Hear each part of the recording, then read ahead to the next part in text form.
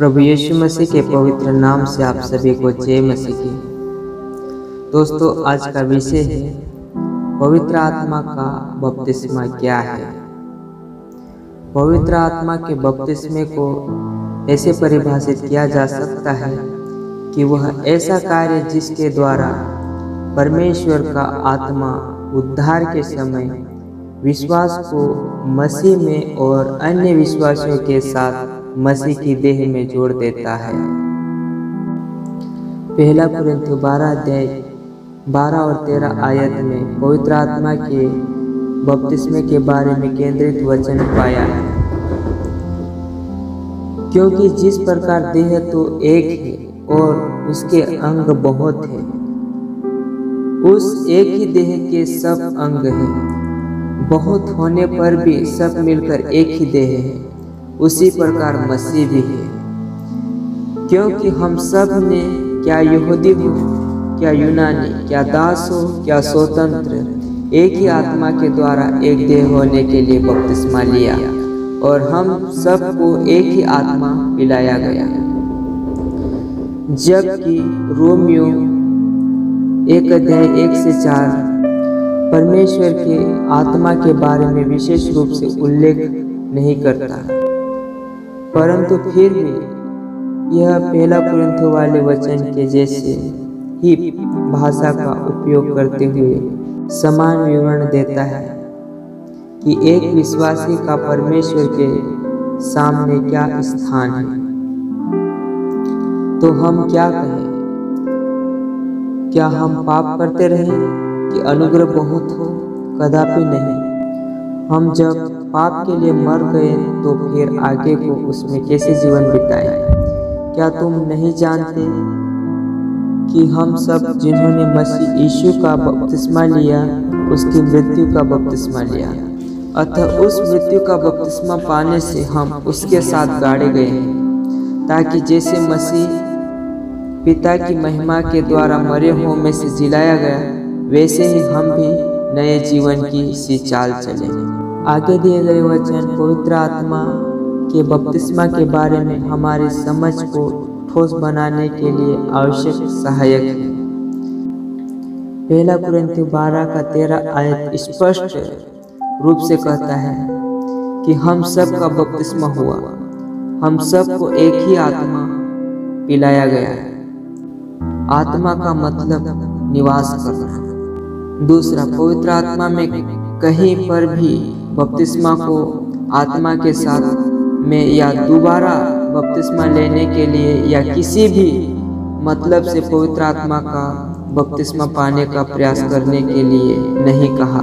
यह इस और संकेत करता है कि जब विश्वासियों को यह अनुभव प्राप्त होता है, तीसरा ऐसा जान पड़ता है कि इफिसियो चार अध्याय उसका पाँच आयत, आत्मा के बपतिस्मा की ओर संकेत करता है। इफिसियो चार अध्याय पांचवा आयत आत्मा के बपतिस्मा की ओर संकेत कर रहा है। यदि ऐसा है तो आत्मा का बपतिस्मा प्रत्येक विश्वासी के लिए सच्चाई है। जैसे कि एक ही विश्वास और एक ही पिता का होना है। पवित्र आत्मा का बपतिस्मा दो बातों को करता है। पहला, यह मसीह की देह में हमें जोड़ता है और दूसरा, यह हमारे मसीह के साथ क्रूस पर चढ़ाए जाने को वास्तविक बनाता है। देह में होने का अर्थ है कि हम उसके साथ नए जीवन किसी चाल चलने के लिए जी उठे हैं। रोमे छः का चार। जैसे कि पहला पुरंतियों बारह ते तेरह आयत के वचन में उल्लेख किया, हमें अपने आत्मिक वरदानों को उपयोग इसलिए करना चाहिए जिससे देह ठीक रीति से कार्य करती रहे। इफिसियो चार का पाँच के वचन में लिखा है कि एक ही आत्मा के बपतिस्मे का अनुभव करना कलिसिया की एकता के आधार को बनाता है। मसीह की मृत्यु, गाड़े जाने और पुनरुत्थान के आत्मा के बपतिस्मे के द्वारा सम्मिलित होना।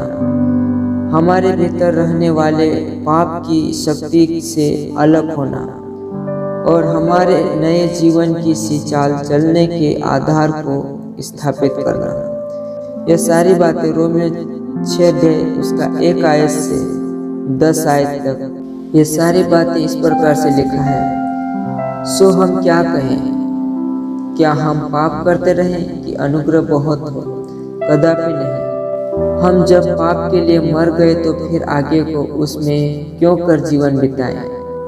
क्या तुम नहीं जानते कि हम जितनों ने मसीह यीशु का बपतिस्मा लिया, उसकी मृत्यु का बपतिस्मा लिया। सो उस मृत्यु का बपतिस्मा पाने से हम उसके साथ गाड़े गए हैं, ताकि जैसे मसीह पिता की महिमा के द्वारा मरे हुए में से जिलाया गया, वैसे ही हम भी नए जीवन की सी चाल चले क्योंकि यदि हम उसकी मृत्यु की समानता में उसके साथ जुट गए हैं तो निश्चय उसके जी उठने की समानता में भी जुट जाएँगे।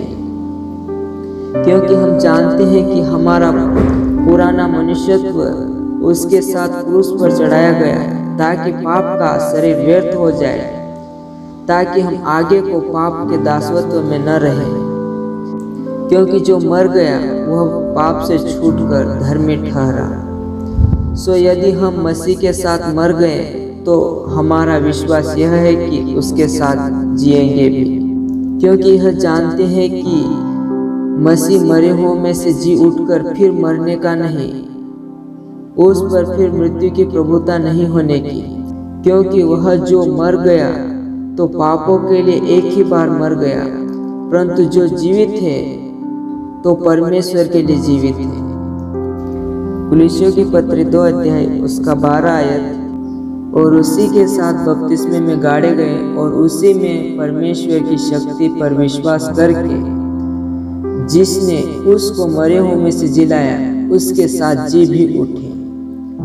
प्रभु इन वचनों को सुने जाने और पढ़े जाने पे आप सभी को आशीष दे। Praise the Lord